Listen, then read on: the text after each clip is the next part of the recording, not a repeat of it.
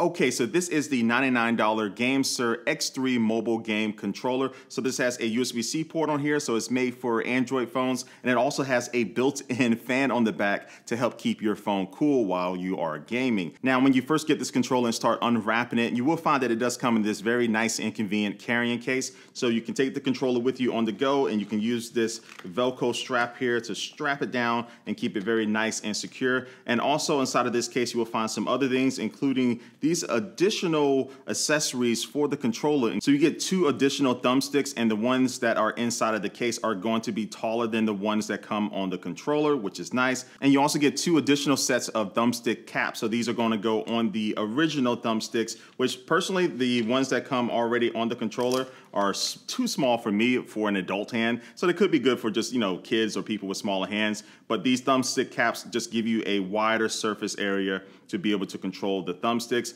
And uh, one set is going to be concave and one set is going to be convex. So depending on your personal taste, you can choose between those. And then the last thing will be an additional D-pad here, kind of like the satellite dish D-pad that you find on the Xbox Elite controller. As far as how the buttons and the triggers and the thumbsticks and all these things feel, they don't feel cheap. That's the number one important thing that I was worried about with any type of game controller, but that's not the case here with this X3. Everything feels really good. Look, I'm not super technical. I'm not going to pull up anything to really show you how the, the travel is on the thumbsticks and stuff, but I have watched some other people's videos where they said that it's generally accurate. Some things can be kind of fine tuned, but for the most part, um, the way these buttons and triggers feel, I think most people will be happy with. But really the main adjustment that I did in almost every single app, especially like a first person shooter, is just to go in and turn the sensitivity of the thumbsticks down just a little bit. So I just felt that they were a little too sensitive, but uh, for me, I like it to be a little bit slowed down, but I'm not a competitive gamer, so maybe you like it sped up. Um, but that's really the only thing that I had to do to get really comfortable with the, the controls. Now, you do have two additional customizable buttons on this controller. So you have a G and an S button, so G for game, S for sir. Uh, then also you do have a screenshot button on the bottom left, and then you have a home button on the bottom right. And as I mentioned before, you do have your right and left triggers and also your right and left shoulder buttons. Now, one of the big selling points of this controller is just how easy it is to put your phone in and take your phone out of it. So the controller itself does expand like this to match your phone size,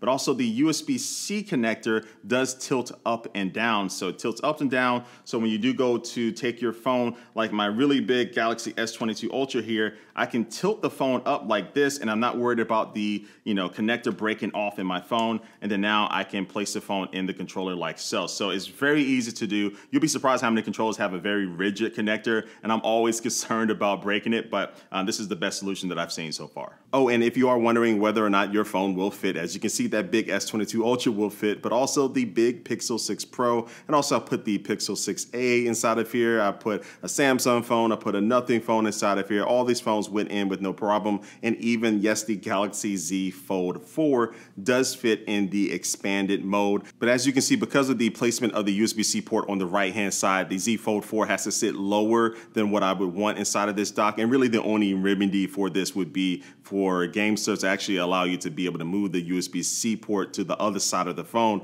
uh, but I doubt they'll do that for this unique case, but that's definitely on my wish list. Oh, and speaking of cases, I did have to take all of the cases of my phones off in order to use them with this controller, and that's because the USB-C connector just needed a little bit more space to connect to the phone. And so unless you have one of those very super thin cases that don't really add any drop protection, maybe just for looks or just for some like scratch protections, there is a decent chance that you will have to take your case off to use your phone with this controller. But now let's talk about this fan on the back. So this fan has to be powered by a USB-C cable. So um, on the bottom of it, you will find a USB-C port. So you need to plug in a USB-C cable in there and one does come with the uh, controller. And then now you see the fan lights up and this is an RGB fan, obviously. So it adds a little color to your gaming setup. And also it is a seven blade fan that does run at 7,500 RPM. And this fan does make a little bit of noise, so definitely when I am using the fan, I want to put in some some earbuds or wear some headphones, but I'm going to be quiet for a second so you can hear how the fan sounds.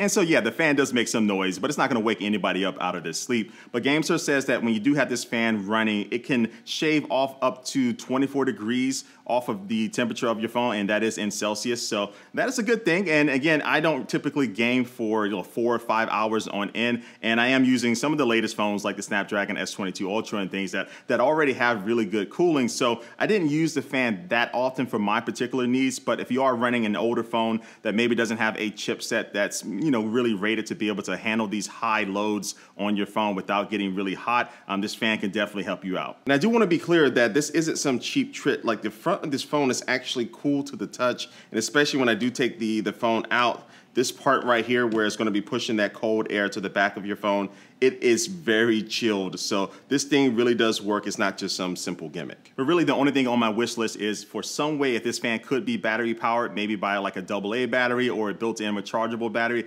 that would be pretty sweet. So you don't have to be wired. And yes, that would probably add some extra weight onto the controller, which by the way, it's not really that heavy at all. It feels really good to hold. Uh, but that's something that I would want to see in the future. It's not a deal breaker, but something I do want. Now you also have the GameSir app that you can download from the Play Store to use with this controller. So when you you first open it up, it'll show you some of the more popular games people are playing with this controller. Also, you can go in here and test out the buttons and the thumbsticks to make sure they're all working properly. And if you do change the layout of the A, B, X, Y buttons on your controller, uh, you can go in here and change that in the software of the app so it will correspond with the games that you are playing on your phone. But the most important thing that this app does do is allow you to be able to use this game controller with games that don't typically support these type of controllers like Call of Duty Mobile. So you can launch Call of Duty Mobile from this app, and now you'll see this overlay on the screen. Now, in the beginning, it's a little bit of a mess. Everything is all over the place, but um, what you can do is go into the settings of the game that you're in and pull up the touch controls, and then now you take that GameSir overlay and you can individually move the different uh, controls for the thumbsticks or the buttons on the screen to get them to the right position that you personally like. And so, yeah, this will take a few minutes, but once you get your perfect setup, you can save this, and now every time you launch the, the game,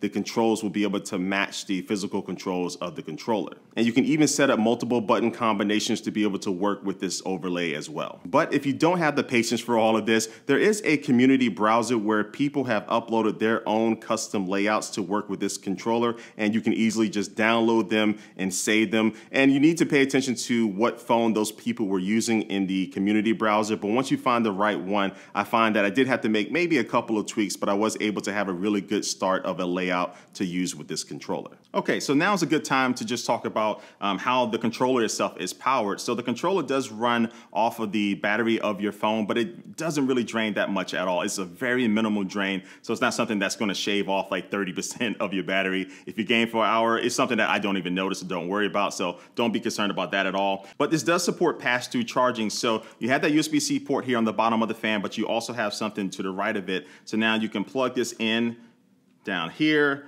And then now my phone will go ahead and start charging. So yes, you can have the fan plugged in at the same time and also have uh, the, uh, the pass-through charging plugged in too. So you can be getting some cool gaming, but also recharging your phone. Oh, and one thing I almost forgot to mention is that you can actually slide this fan to the left and to the right on the back of the phone. Now, why would you want to do this? Well, depending on your phone, the kind of the hot spot might be in a different location. And also the camera bumps for smartphones these days can be kind of big, so you might need to adjust the fan to that. So I like this feature. It definitely gives you a little bit of flexibility to find that right hot spot. And so look, for $99, GameSir has a lot of competition in this mobile gaming controller space, but the customization really helps it stand out amongst everything else because you can customize those physical controls, the overlay controls. You have that fan on the back because because if you do have an older phone, that's going to be really clutch for you. And outside of having to take your case off every single time you pretty much want to use this, unless you have one of those super thin cases, um, this controller is really solid all around. So again, the biggest part for me is just look how easy it is to take my phone out of that. So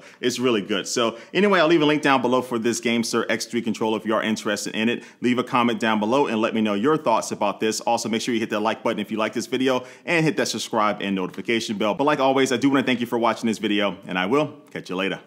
Peace.